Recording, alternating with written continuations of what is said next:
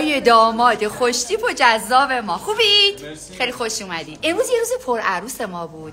این آقای داماد ما الان اومدن دنبال عروس خانم زیباشون و مادر عروسشون رو می‌خوام ببین خواهر عروسم. هزار ماشاءالله بهشون نگم بهتون چقدر خوب شدن.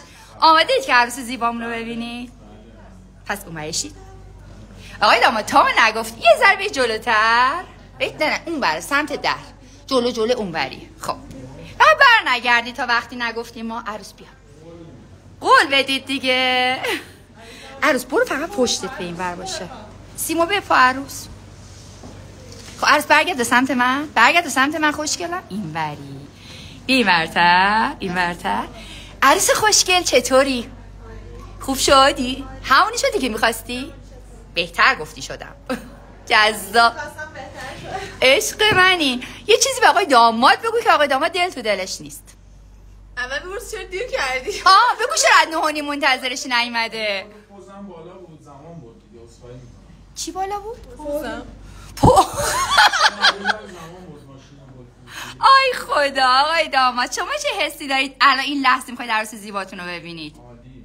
خوشحال. خوشحال. بعد حالا فعلا مامان عروس رو نشون نمیدم عکس العمل جفتش خواهر عروس. خواهر عروس. من اشتباهی میگم مادر عروس. والا به خدا آماده ای آقای داماد برگردید. سلام علیکم. عروس هم خواستی برگرد داماد ببینتت. آی خدا. چطور شده عروس جذابمون؟ زیبا بود زیباتر شده آقای داماد بگه نه؟ خب حالا آماده اید مامان عروس هم ببینید خواهر عروس.